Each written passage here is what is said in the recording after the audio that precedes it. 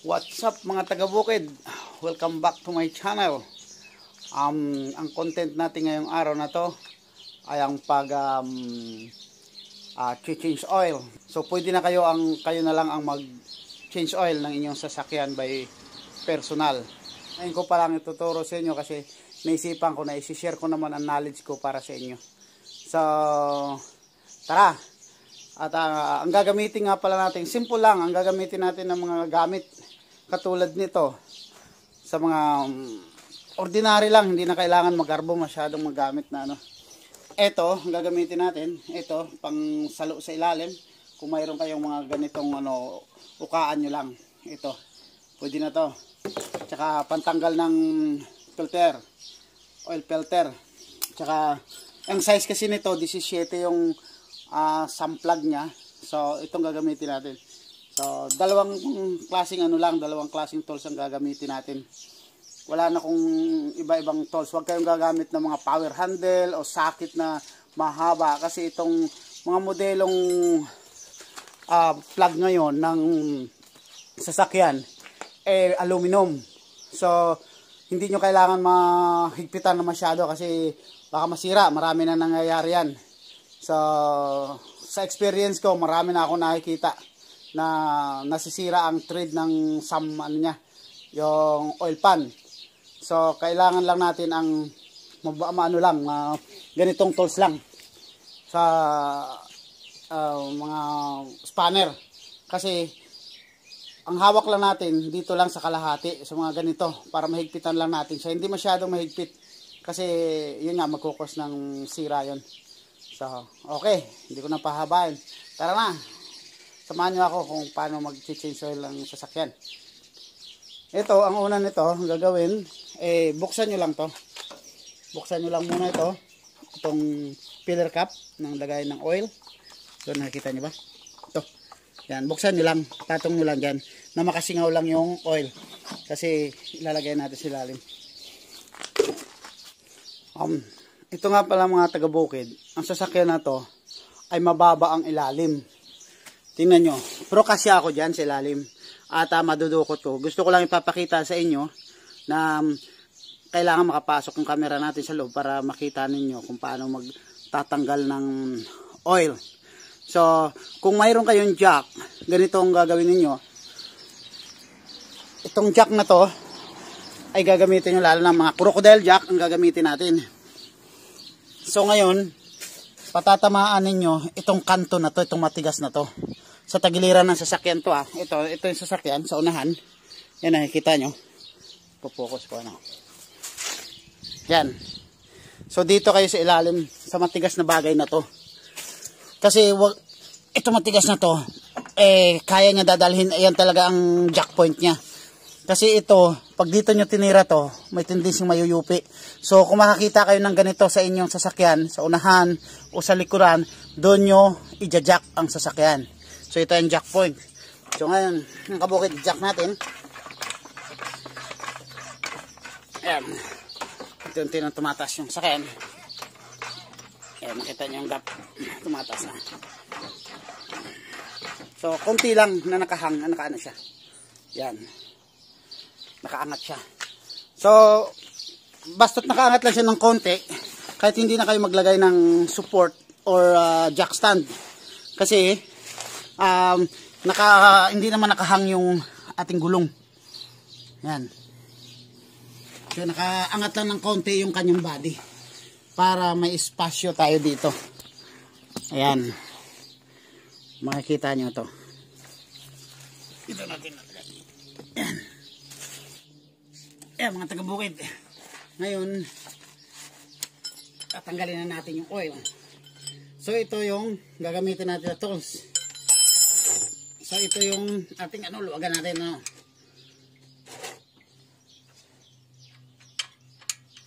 Yan. Maluwag na siya. So ngayon, ididirain lang natin yung oil. Ito to siya.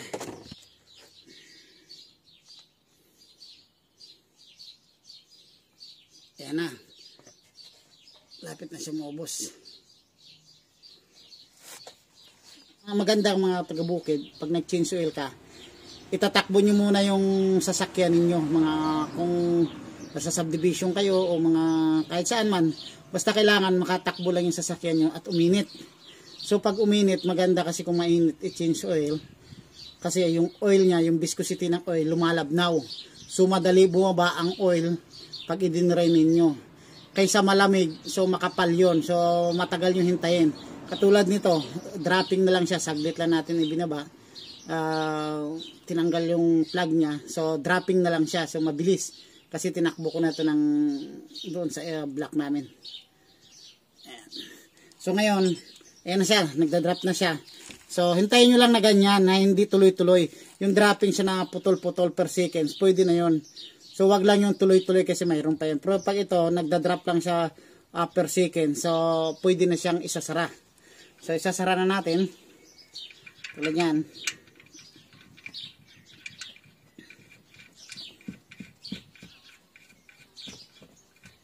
Yan. So tulak lang natin ng konti. And pag higpit, yung gaya ng sinasabi ko, pag naghigpit, huwag masyadong higpit. Isang kamay lang. Yung uh, isang kahit gamit ah ganito. Yan. So, ito yung oil filter niya. Yan. So ngayon tatanggalin natin yan. Gagamit tayo ngayon ng sasahurin natin kasi baka may matapon pang konti. Pero maraming uh, minsan may talagang may natatapon dyan. So ito, ito yung gagamitin natin. Ayan. So itong gagamitin natin. Pasensya na ka mga kabukid kung tagilid yung ating pag-video kasi nasa ilalim tayo. Ito. So, ito. Yan, ikutin mo lang yan paluwag. Yan, yan, sumunod na.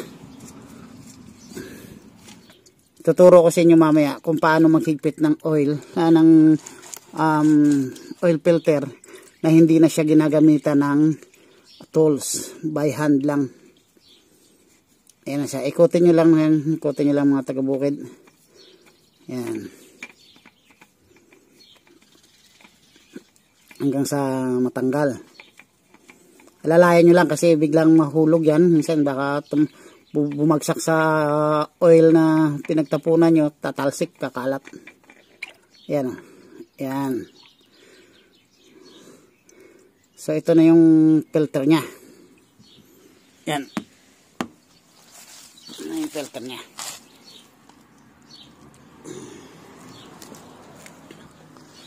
So pupunasan lang natin. Basahan lang. Pwede na basahan. Basta malinis lang yung surface ng uh, paglalapatan ng ano, ng uh, oil filter tsaka yung guma, yung guma niya ba na lumalapat. Ayun. So So ito mga taga-bukid, ito yung bagong oil filter niya. So ngayon, ang gagawin natin, lalagyan lang natin siya ng oil dito, yung bagong oil dito sa goma na to para pag inikot mo, hindi siya maninikit. So, ito yung bagong oil natin.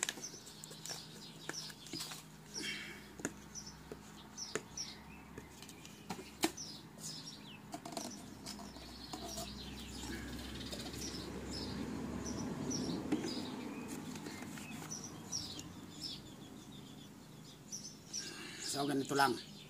So basa na siya. So ngayon pwede na natin siya ikabit.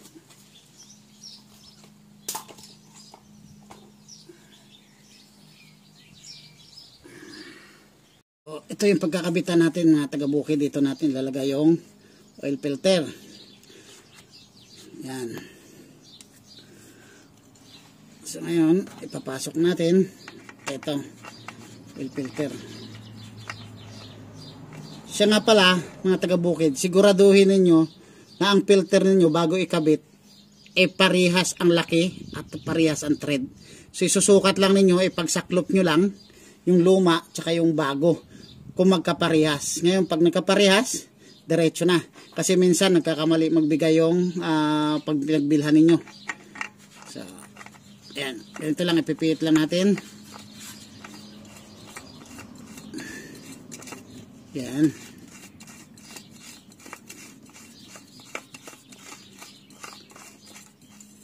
Yan.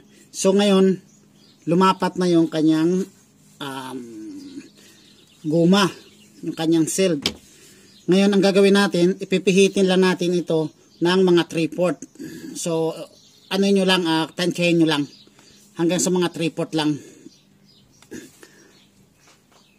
Ayan. Katulad yan, sumikip na siya. So, kaunti lang idadagdag nyo dyan. Huwag nyo nang, huwag nyo nang pilitin na sumagad pa kasi mahirapan kayo magtanggal. Sa akin, yan, okay na, okay na yan. So, ganyan lang. Hindi nyo na kailangan, hindi nyo pwede gamitan ng ganito. Huwag, huwag kayong gumamit ng filter rinse. Yan. Kasi yan, ang filter rinse, napapansin nyo, ito may grip dito yan. Dito sa taglirat na to. Pag nilagyan nyo yan, babakat dito yan at baka uh, may tendency pang mabutas ang inyong oil filter. So, kamay lang. Yan. Hindi naman advisable na, na ginagamitan ng ganito. Sa mga baguhan na gumagamit nito, so i-avoid nyo to. Ganyan lang para para smooth at hindi walang problema. Kasi guys, nakabukid, pag yan humigpit, kapag yan na uminit, ay humihigpit yan. So, mahirapan kayo magtanggal pag ginamitan nyo yan. Okay. So, ngayon, ang gagawin natin, ay maglalagay na tayo ng engine oil. Kasi nga pala, mga taga-bukid, ilalabas natin to. So, ilalabas natin ang dahan-dahan lang to. Yan.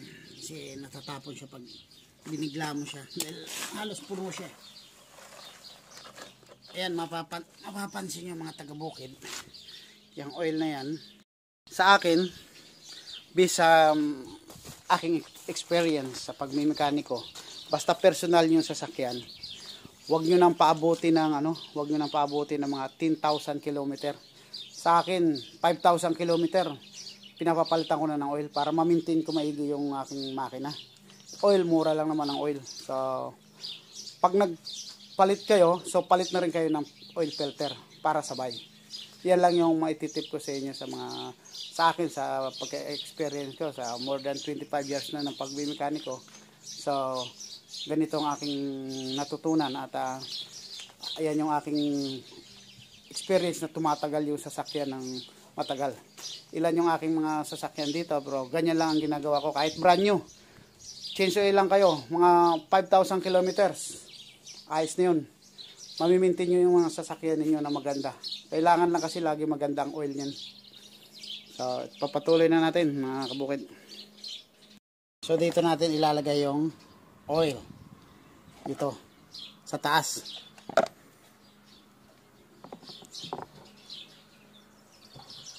Lang natin yung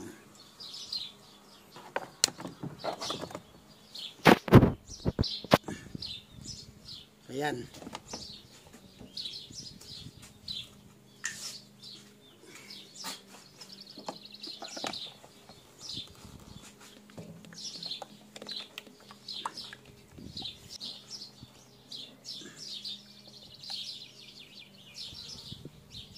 pag naglagay kayo, pa konti-konti lang. Huwag masyadong bigla.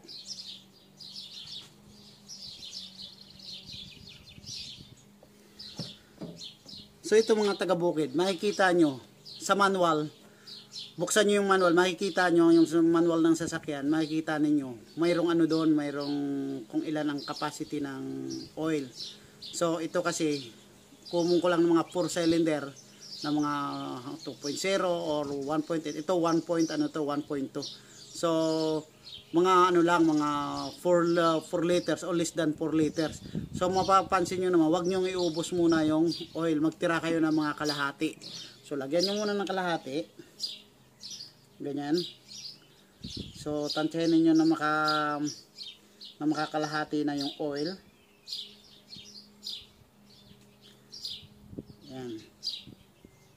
Depende kasi mga kabukid sa ano ya, sa oil uh, oil sump sa um, oil pan niya. Kasi minsan may mababaw na oil pan o may malalim. So depende sa oil sa, sa dami ng oil. So ngayon nakalahati na tayo. I-check ngayon natin ang dipstick niya. So ang dipstick niya dito banda. So ito ang dipstick niya. So, i-check natin kung saan na siya banda.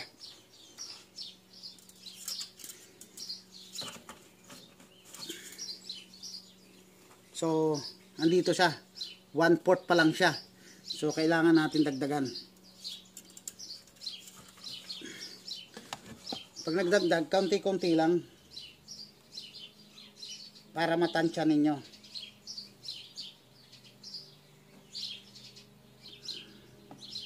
Kasi minsan, ang mga sasakyan, pag mga second hand na binibili, walang kasamang auto, ah, auto manual. So, kaya hindi nyo makita kung ilan litro. So, sa pamamagitan nito, matatansya natin.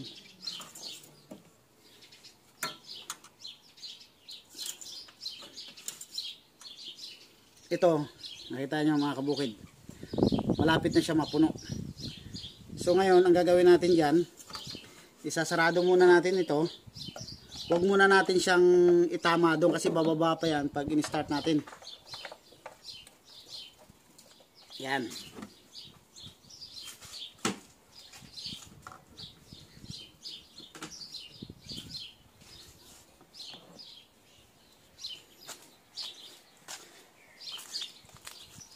So ngayon, pupu, uh, ibababa na natin yung ating jack para um, mag-level yung pa, mag-level yung ano ng sasakyan, yung kanyang leveling para yung oil natin makuha natin ang tamang sukat.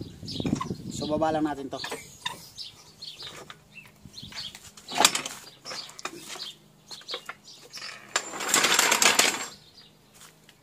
So ayan na mga taga-bukid. I-start na natin ngayon yung ating sasakyan.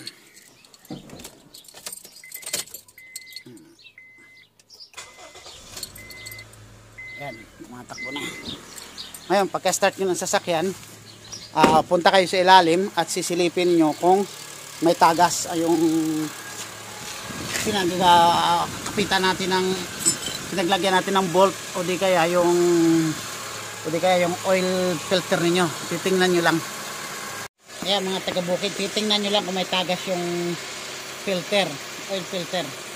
O di kaya yung yung ano niya yung bolt. So ngayon wala naman so far wala naman siyang tagas. So okay ayos na yan. Mahigpit na.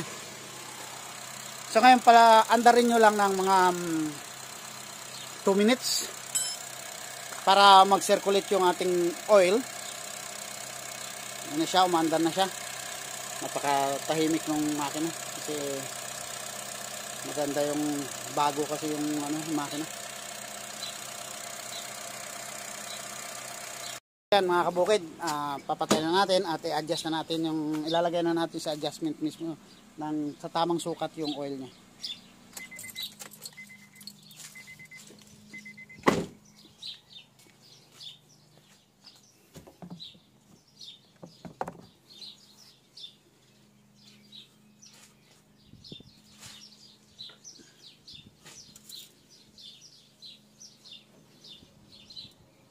Nga pala mga taga-bukid pag nag pag nagsukat kayo ng oil, kailangan patay yung makina.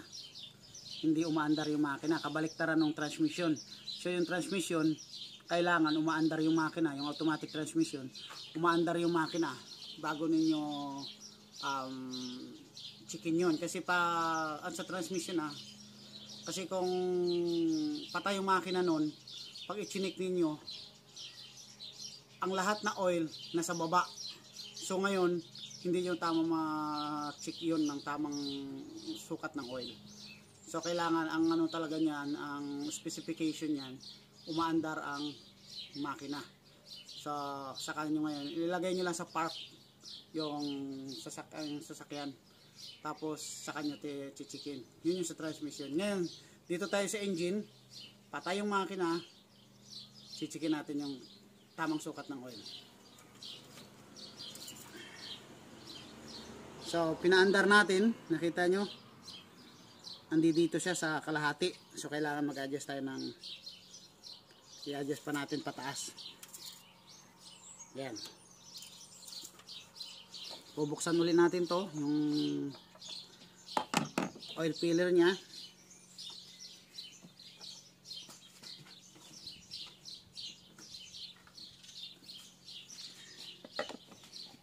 Lalagyan natin tatansyahin lang natin. Huwag iubos.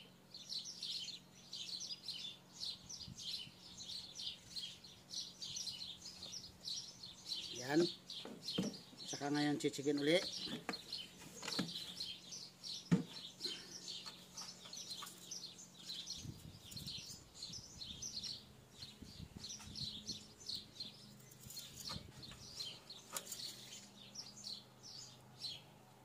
Yun.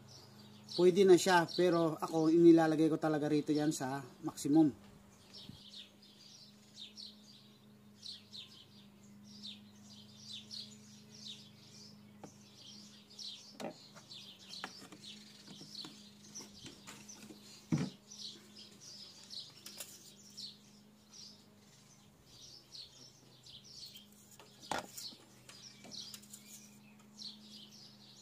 Ayan, nasa tamang level na siya. So, nga pala dyan, ang iba nagtatanong, paano kung bumaba siya rito? Kasi ito may sukatan. Napapansin nyo, may dalawang butas yan. Ang oil, pag nandiyan dyan sa the between na yan, sa loob siya na dyan sa, sa butas na yan, dito, sa, dito, to, to. Sa loob na yan, ang ibig sabihin dyan, safe yung makina mo tumakbo sa mga ganyan. Yan, yung butas na hanggang dito. Kasi may butas siya, may, ang iba guhit lang nakalagay dyan. So yan, sip yan. Sa specification, basta na sa loob ka lang dyan, pwede ka, walang problema yung maging makina mo dyan. Pero ako, karamihan, pag nakita kong bumababa na siya rito, inilalagay ko na siya rito, inilalapit ko na siya. Kung mayroon kayong pan top up na oil.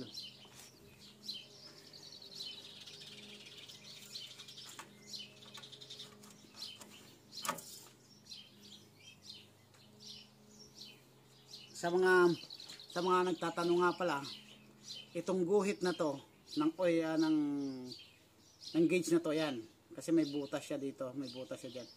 So ang ibig sabihin yan sa specification talaga ang oil mo dyan lang siya maglalaro. So hindi ka pwedeng bumaba hindi ka pwedeng tumaas. So kapag nag change oil ka pag masyadong mataas eh hindi po pwede yon kailangan i-reduce nyo papunta rito sa insaktong guhit niya So tataas mo siya ng konti pero hindi pa rin alumable yan sa manufactured. Kailangan dito siya sa loob na yan. So guys, wag na kayong magbawas, uh, magbaba rito, wag na kayong tataas. Basta dito lang kayo sa loob na yan. Kasi mataas naman yung range na yan, no? sa loob na, sa in between ng dalawang butas niyan. Basta dyan lang yung oil nyo. Pero pag nag-change oil kayo, ilagay nyo rito sa upper, sa itaas na maximum. Yan. Yan lang yung maipapayo ko sa inyo. So okay na yung oil natin. So kalimutan uh, wag natin kalimutan ikabit ito. So kinabit ko na yung kinabit ko na yung pillar cap. So okay na. Nakabukid. Okay na. Oil na natin. Maayos na. So okay na yung sasakyan natin. Tapos na tayo mag-change So ngayon papaandar natin yung sakyan natin.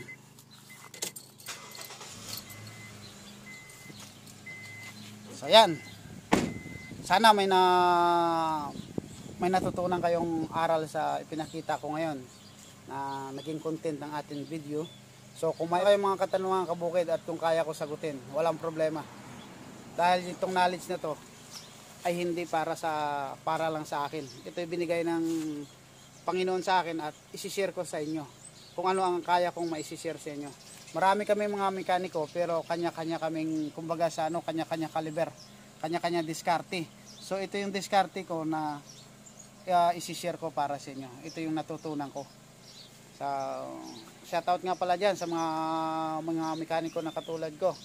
So, ngayon, uh, nakikita nyo sa vlog ko, um, mayroon ng content ng mga sasakyan. Sa as a being mechanic. So ipapakita natin yung ating knowledge at isi-share natin sa ating kapwa. At uh, huwag tayo magmaramot. Dahil yan ay ibinigay lang sa atin ng Panginoon at isi-share natin sa ating mga uh, baguhan na mga mekaniko o di kaya sa mga may personal na sasakyan. Uh, gusto nilang i-change oil ang kanilang sasakyan na uh, sila ang mag-change oil at Ayan. Mandar na yung sakyan natin. Tapos na yung change oil. So, ready na i-long drive yan. Uh, yan mga taga-bukid. Ganun lang ang pag-change oil ng sasakyan para um, sa personal natin sasakyan. Hindi nyo na kailangan dalhin sa sa workshop. Kahit ganito lang, concrete o di kaya graba o kahit saan kayo maano. Ayan pala mga taga-bukid. Ganyan lang mag-change oil ng sarili ninyong sasakyan. So, oil lang yung bibilhin nyo, oil filter. So, kayo na yung gagawa ng sasakyan ninyo. So, nakasave kayo ng labor. Hindi nyo na kailangan magpa-appointment. Kasi dito sa amin, sa lugar namin, magpapa-appointment ka ba? So, maghihintay ka pa ng kung ano ba yung time na available siya sa kanila. So, hindi na kailangan. Simple lang. Yan lang yung mga basic na gagawin natin sa ating sasakyan. Tapos, tapos yung change oil. Eh, check nyo to, ang oil nito, ang tubig nito. Ah, tapos yung oil nito, oil level ng brake fluid. Yan. Tapos yung transmission, yung transmission nito, so automatic ang transmission nito. So yan, guys. Uh, mga kabukid, umaandar yung makina, so i-check natin yung transmission oil. Ayan. Insakto siya. Dito siya. So, double check natin ulit. Ito, ito yung sa transmission o oil gauge niya. So, check natin. Huwag kalimutan, umaandar yung sasakyan. Nakalagay sa park yung lever niya.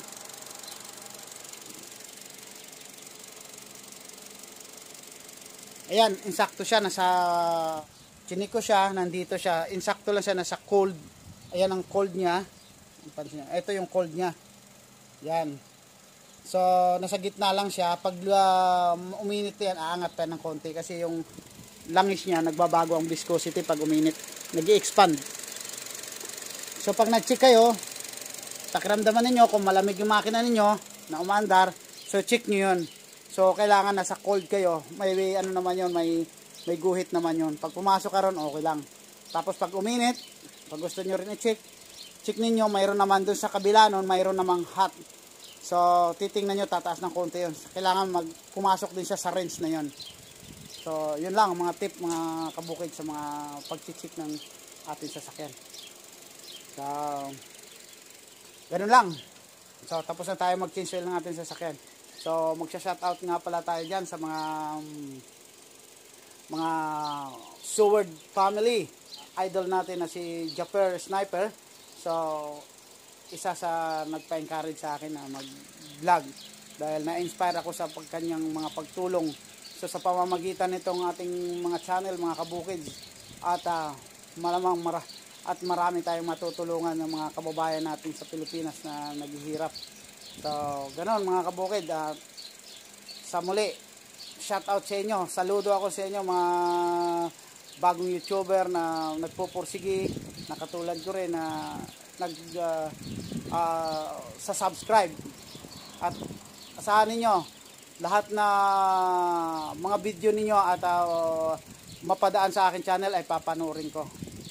Uh, magtulungan tayo mga kabukid. Yun, maraming salamat sa Oh, mga kabukid, uh, shout out nga pala kay Tatay Mel TV. So, Tatay Mel, maraming salamat sa iyong pagpanood uh, sa video ko. At uh, ganun din ako. At shout out din nga pala kay Dodong Sky Vlog TV.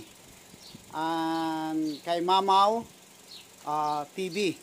So, mga kabukid, uh, suportahan din natin sila mga kabukid. Uh, subscribe din natin yung kanilang mga channel at uh, yan ay makakatulong din sa atin. At ayan din, uh, shout out din nga pala kay Pulander. Um, kay Ernie Mayaw. And uh, ito, nagpapa-shoutout si Samson Priscilla Vlog. Mabuhay ka, Lods.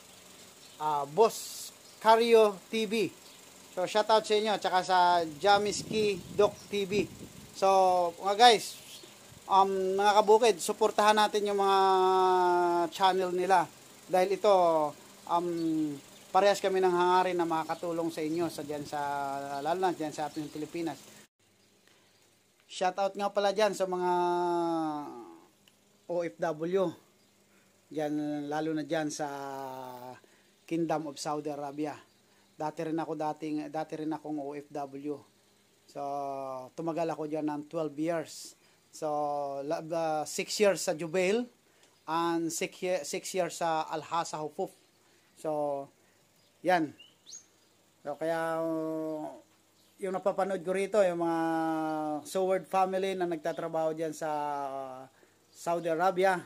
So, um, saludo ako sa inyo dahil alam ko yung hirap na pinagdaanan ninyo dahil naranasan ko rin noon.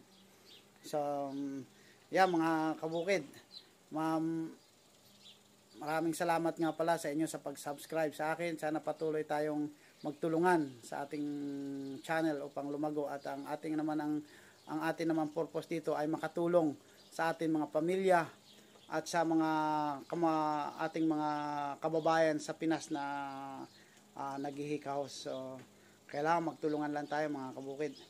So, muli, nagpapasalamat ako sa inyo mga kabukid, mga karamihan dyan OFW, uh, sa Dubai, kasi katabi lang ng Saudi Arabia yan, uh, um, Abu Dhabi, Bahrain, so ang mga nagtatrabaho dyan ng OFW, so, basta parting Middle East, um, mahirap talaga.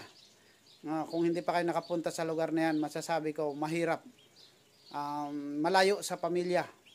Sa, yan, kami noon, nagtyaga lang kami para lang sa pamilya na o, mga kabukid, uh, maraming salamat muli sa panonood ng aking channel.